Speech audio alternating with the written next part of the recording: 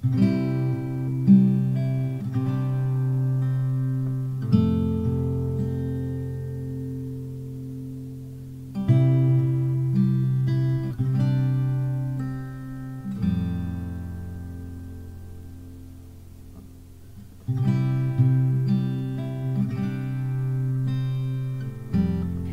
there, welcome back to UB Studio and on my third video of my journal. Uh, this journal was done during my art field trip to South Carolina. The Airbnb that I stayed had a beautiful garden in front, so in mornings I did my quiet time there. So hopefully you'll enjoy this special greeny um, quiet time. So let's go.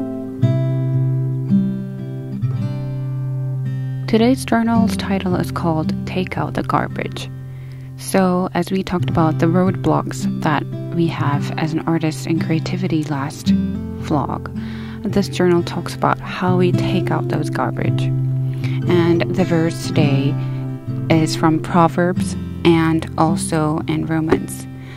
So, in Romans, it talks about to not conform to the pattern of this world, but be transformed by the renewing of your mind.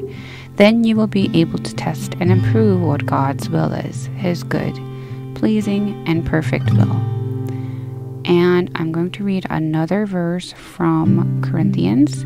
It's chapter 2, 2 Corinthians. We demolish arguments and every pretension that sets itself up against the knowledge of God, and we take captive every thought to make it obedient to Christ. So, uh, this meditation is very simple. To sum it up, it's there's only one answer that could actually take out our garbage. It's by God's word. And first of all, what is our garbage? It's our life, our reality, our experience and thoughts and emotions that dominate our thoughts, our minds. That is what garbage is. And usually, that is usually our roadblocks. That could be fear, that could be insecurity, that could be our past and traumatic emotions that just come and go often.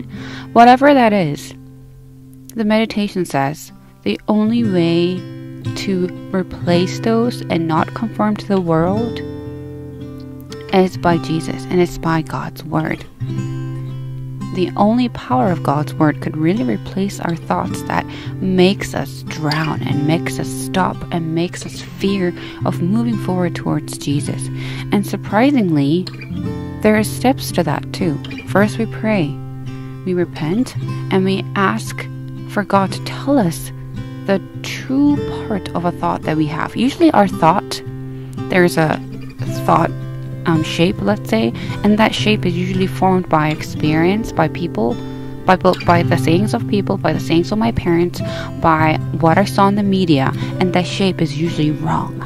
It's usually formed negatively, or whatever that is that just doesn't want to change. But only God's word, and by the touch of Holy Spirit. And here I'm growing, I'm drawing this bird because I thought from the reference the bird really represents the Holy Spirit. And the Holy Spirit, that bird, is in top of our heads, inside our hearts, inside our souls. And that's the only way the Holy Spirit open our eyes and thoughts to the word, then when we accept and pray that God, I want your word to dominate my thought and transform my thoughts that is not part of you, then He will.